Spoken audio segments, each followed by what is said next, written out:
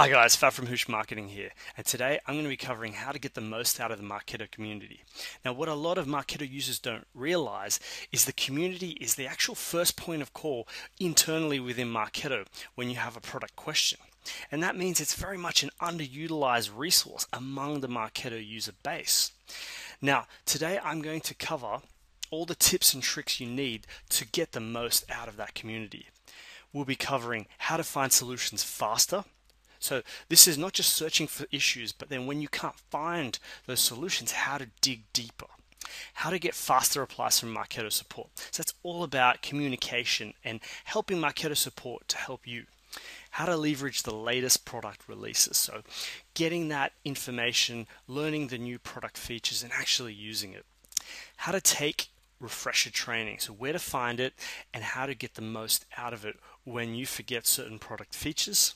And then the last bit is leveraging the power of the other Marketo users out there by using discussions, and, and these are quite powerful. When you have a problem or query about Marketo, it should be mandatory to check the community before you contact Marketo support. 99% of the time, you're going to find the answer yourself within a few clicks, which is, and even if it takes you a few minutes, it's still much more effective than contacting Marketo support and waiting potentially hours for a reply. It's actually a no brainer. To access the community within Marketo, we simply click on the community button at the top here, which will take us to the community home.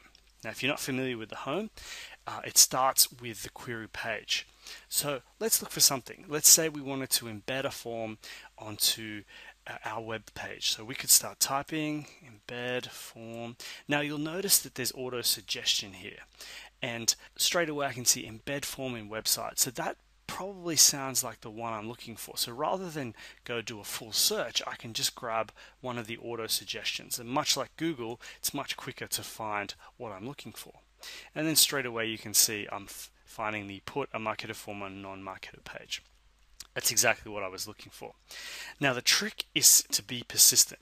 If you can't find the answer straight away, the next place to look at is discussions. Now, discussions are great. Discussions are where people are essentially having a chat among themselves and sometimes with support about issues. So, dig a little deeper than just the help articles. The next place to look is to scroll through the discussions and find uh, what what is out there. So, for example, Marketo form on a website, and someone's asking about that. Now, if we click on this, it'll give me some more detail because it's someone that's asked that same question as me and they've been given some links to articles by employees, but also generally just anyone chiming in and giving their opinions. So you can definitely find a lot of information within discussions.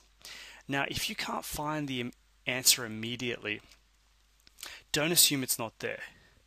Try a few variations of keywords. So I might say form and um, on website, you know, and I can see when I went form on, I can see, look, form on non-Marketo page. So you can get information um, as you type, which is great. But let's say I went Marketo page, there you go, form on non-Marketo page. That could be a good one. Now, just try a few variations of the keywords until you find something. Now, at the end of the day, even if it takes you five to ten minutes to find the answer, that's still a lot faster than going support, raising a case, and waiting for an initial contact. And as time goes by, you'll get much quicker at finding the right queries and the right answers. So just to recap quickly, use the auto suggestion, try more than once, and check the discussions tab as well. Sometimes you're just not going to be able to find the solution in the community, or sometimes there's a bug or an area that you're going to need to contact support for.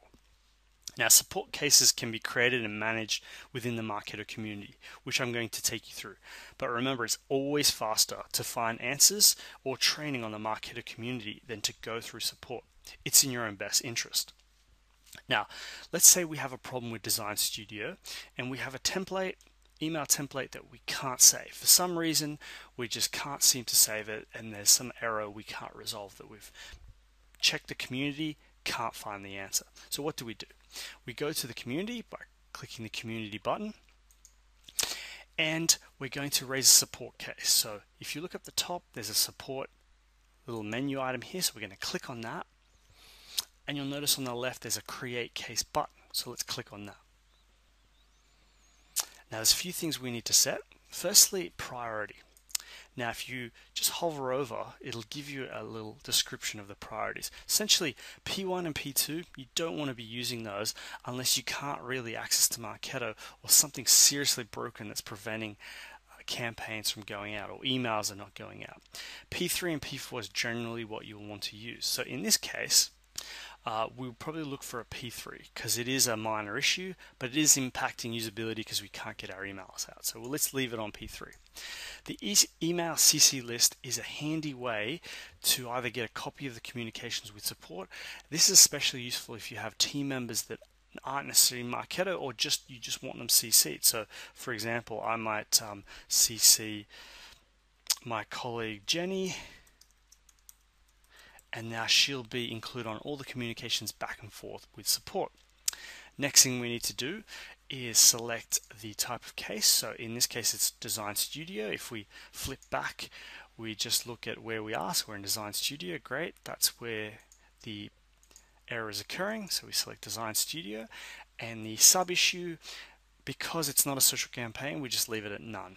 So we can't really make it any more specific.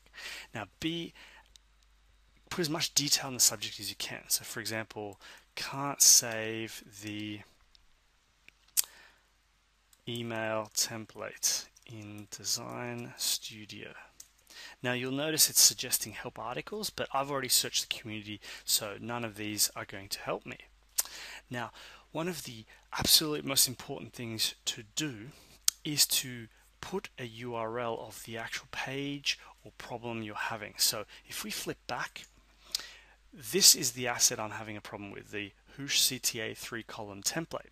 So what I'm going to do is copy this URL up here and I'm going to paste it down here and then I'll put a description. Right, so here I'm, I'm giving a bit more detail. Now, once I save this case, it'll start that email communication back and forth. What's super critical, and this will help you a lot, is to go back to this, and if you're getting that email message when perhaps you're trying to approve it or save it, take a screenshot of that and make sure you include the uh, URL bar up the top here when you take that screenshot. Keep that aside so that when support get in contact with you, you can take that screenshot and email it to them. Now, if you do these things, it will help support track down the issue a lot faster. It'll give them more detail, and at the end of the day, it'll help you get a resolution faster.